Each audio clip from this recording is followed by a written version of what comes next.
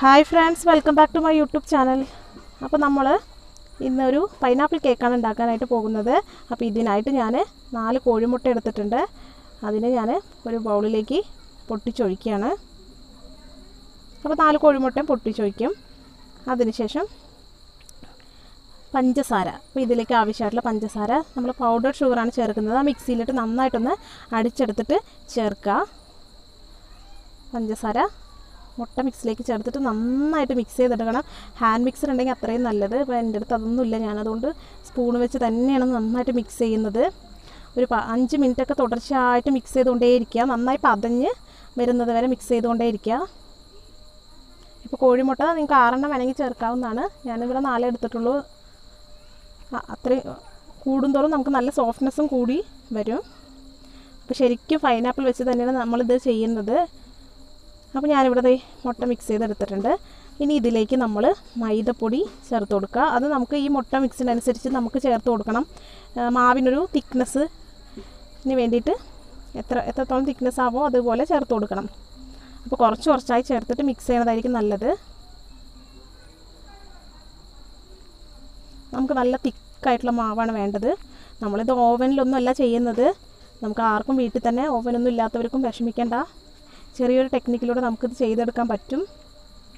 കുറച്ചും കൂടി ഞാൻ പൊടി ഇട്ട് കൊടുക്കുന്നുണ്ട് അങ്ങനെ അല്പാൽപ്പമായിട്ട് ഇട്ട് കൊടുത്തിട്ട് നല്ല തിക്കാക്കി എടുക്കുക ഇനി നമ്മുടെ നമ്മളിതിലേക്ക് ചേർക്കുന്നത് ഇതിൽ പ്രധാന ഇൻഗ്രീഡിയന്റ് ആയിട്ടുള്ള പൈനാപ്പിളാണ് ഇത് ഞാൻ പൈനാപ്പിൾ ക്രഷാണ് ഞാൻ ജ്യൂസറിൽ വെച്ചിട്ട് ചെയ്തെടുത്താണ്.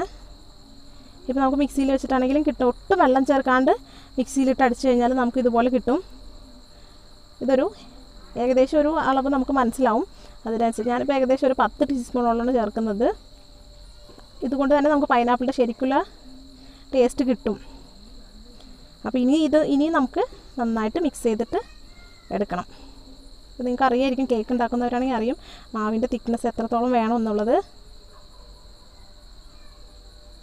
അപ്പോൾ ഇതേ കണ്ടോ ഈ ഒരു തിക്നെസ്സിലാണ് മാവ് വരേണ്ടത്. അപ്പോൾ ഇത് റെഡി ആയിട്ടുണ്ട്. ഇനി നമുക്കിത് റെസ്റ്റ് എടുക്കാൻ വെക്കുകയൊന്നും വേണ്ട. നമുക്ക് നേരെ തന്നെ പാത്രത്തിലേക്ക് ഒഴിച്ചു കൊടുക്കാം. ഞാനിവിടെ സാധാരണ നമ്മൾ ഭക്ഷണം കഴിക്കാനൊക്കെ എടുക്കുന്ന ഒരു കിണ്ണമാണ് എടുത്തിരിക്കുന്നത്. അതിൽ നന്നായിട്ട് ഞാൻ നെയ്യ് പുരട്ടി കൊടുത്തിട്ടുണ്ട്. അതിലേക്ക് ഈ മാവ് ഞാൻ മുഴുവനായിട്ട് ഒഴിച്ചു കൊടുക്കുകയാണ് എല്ലാം ഫുള്ളായിട്ട് തന്നെ നമുക്ക് ഒഴിച്ചു കൊടുക്കാം. എന്നിട്ട് ഈ പാത്രം നമ്മൾ നന്നായിട്ടൊന്ന് ടാപ്പ് ചെയ്ത് കൊടുക്കണം. ഇനിയാണ് നമ്മളിതിനെ ബേക്ക് ചെയ്യാനായിട്ട് പോകുന്നത്. അതിന് വേണ്ടിയിട്ട് ഞാനിവിടെ ഒരു ചീനച്ചട്ടിയിൽ കുറച്ച് ഉപ്പൊക്കെ ഇട്ട് ഓൾറെഡി ചൂടാക്കി വെച്ചിട്ടുണ്ട്. അതിന്റെ മുകളിലേക്ക് ഇതുപോലൊരു വളയം വെച്ച് കൊടുത്തിട്ട് ഈ പാത്രത്തിന് അതിലേക്ക് ഇറക്കി വെക്കുക. ഇറക്കി വെച്ചിട്ടുണ്ട്. ഇനി നമുക്ക് ഇതിനെ ഒരു പതിനഞ്ച് മിനിറ്റ് നേരത്തേക്ക് ഒട്ടും തുറക്കരുത്. ലോ ഫ്ലെയിമിൽ വേണം കത്തിക്കാനായിട്ട്. അപ്പോൾ ഞാനിവിടെ ഏകദേശം ഇരുപത്തഞ്ച് മിനിറ്റോളം വെച്ചിട്ടാണ് ഇത് വേവിച്ചെടുത്തത്. അത്രയും സമയം തിക്നെസ്സിനനുസരിച്ചാണ് വേവ് വരുന്നത്. നമുക്കിതിനെ ഒന്ന് കട്ട് ചെയ്തെടുക്കാം. ഇവിടെ ഞാനിത് കട്ട് ചെയ്തിട്ടുണ്ട്. നിങ്ങൾക്ക് ഞാൻ കാണിച്ചു തരാം. കണ്ടോ? സാധാരണ നമ്മൾ കടയിൽ നിന്ന് മേടിക്കുന്ന പൈനാപ്പിൾ കേക്ക് പോലെ തന്നെ ഉണ്ടത് ഇത് തന്നെയാണ്. നിങ്ങൾക്ക് വേണമെങ്കിൽ ഷുഗർ ഷുഗർ സിറപ്പൊക്കെ ചേർത്ത് കഴിക്കാവുന്നതാണ്. ഇവിടെ നമ്മളതൊന്നും ചേർക്കുന്നില്ല. അല്ലാതെ തന്നെ നന്നായി സോഫ്റ്റായിട്ട് വന്നിട്ടുണ്ടത് അപ്പോൾ എല്ലാവരും ഇതുപോലെ ഒന്ന് ട്രൈ ചെയ്ത് നോക്കുക. വളരെ എളുപ്പമാണ്. കുട്ടികളെയൊക്കെ കയ്യിലെടുക്കാൻ പറ്റിയ ഒരു സംഭവമാണിത്.